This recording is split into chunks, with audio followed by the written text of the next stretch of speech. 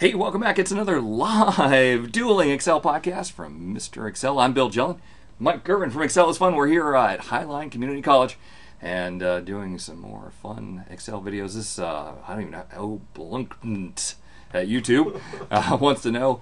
He wants a formula that's going to grab the last five values, last five values uh, from each row and uh, concatenate them together into a single cell. All right, so let's see here. I'm going to do equal index, equal index of this whole row. I want the index of this whole row. Index allows me to say which row I want. Well, that's uh, easy. That's row number one because there's only one row. And then which column? Well, okay, for this one, uh, I am going to go with the count A of how many entries are there. Now, our assumption here is there can't be any blank cells and that whole thing. And what that's going to do, that's going to give me the last one.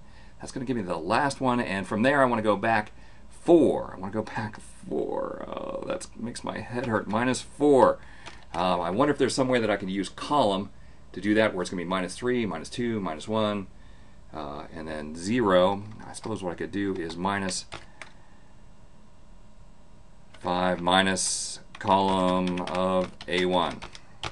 Boy, is that going to work? I don't know. 10, Was missing a parenthesis Ten. there. So that grabbed one, two, three, four, five. The fifth, fifth one back. Copy it across. And 10, 1, 1, 5, 4. Hey, it worked. That's cool. Let's, let's copy it down. Uh, and we'll do another one here. So this one that I should be getting 91417. 91417. Woohoo! I wish the concatenate, the concatenate function would let you uh, concatenate a whole range together. That would be a really, really good thing. I'm going to be up at Microsoft this week. Maybe I'll ask them for that as a uh, as a Christmas present for everyone out there. Ampersand, because otherwise we have to do this whole thing, which is really tedious.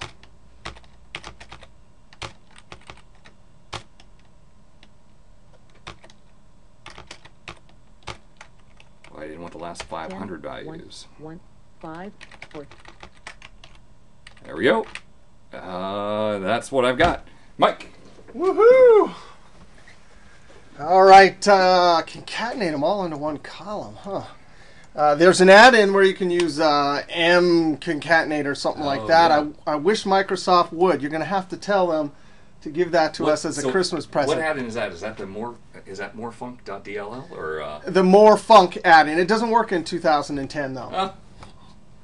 And I use their functions all the time. All right, let's see. Uh, I'm going to use index 2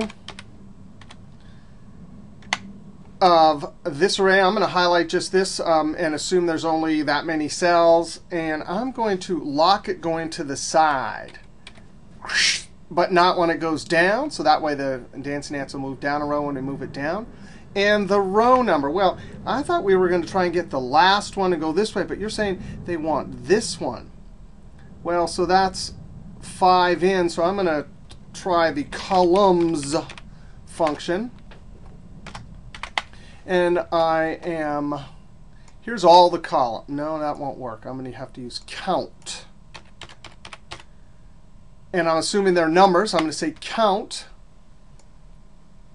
Now, that's all the columns.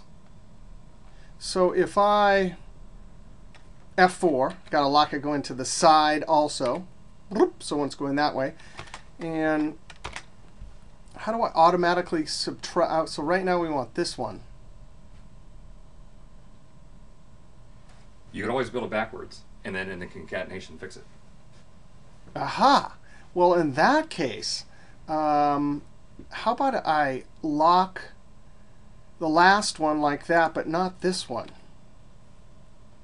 Right? And so what this means is this is a this should be a contracting range because the last one is locked, but not the first one. So as it goes this way, it'll.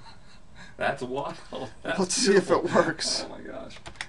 Uh, Okay, but the index, uh, the first thing in the index needs to know a row number. Um, I th- uh, if it's a one way, I'm thinking if it's one way, it'll assume that the column is put in the row position. That's Let's see if that works. I think that that's what help says. four, five. On 110, it goes backwards. That's amazing. Okay, so but I I return them in the incorrect order, so I'll have to fix that during concatenation. So yeah, 4, 8, 10, 9, 1. All right, and so then I have to go get that 10 first. Equals this. Ampersand, double quotes, comma, space, double quotes, ampersand, and I am a bad typer. Bill Jelen, I'm always jealous when I watch you with that keyboard. But so I copied it, and I'm going to control V each time. Control V, oh, control Oh, control that's V. faster. That's beautiful. All right. Control Enter, double click and send it down. four. Hey, it looks All it looks like it's working. That's sweet. That is cool. Okay, look at me. I've been doing the index wrong the whole time. I always entered uh, the one when there was only one row. We better go look at help. No, I believe you. Clearly it worked. I mean, clearly it worked. Uh, I have empirical evidence. Who, But that's only one. who uses Excel help? Come on. Go look at help. Okay, well, tell that to tell that everyone at the MVP meeting. They, they still have help? Oh my gosh, really? No, I googled it. Oh, okay, all right. There was a video on YouTube, wasn't there? Two guys who have nothing better to do than argue about the best way to do things in Excel. You know, this is pretty lame. you get right down to it. There's like non-Excel videos at YouTube. You know that? There are. Apparently, my son watches them all the time. He never is watching us. There's the videos that don't have Excel on YouTube. Actually, the truth is, in a few years, everything will be at YouTube. Oh, actually, everything's at YouTube now. I think, isn't it? Right. Yeah, right. So you, you were the first XL guy there, so you're leading the pack. Leading the pack, yeah, that's right. And what, 1,250 videos, and I didn't don't know how index works until today. All right, um, that's it, isn't it? Uh, I guess so. And I- until the next duel. That's right. I want to thank everyone for stopping by. We'll see you next time for another Dueling Excel podcast from Mr. Excel and Excel is fun. woohoo!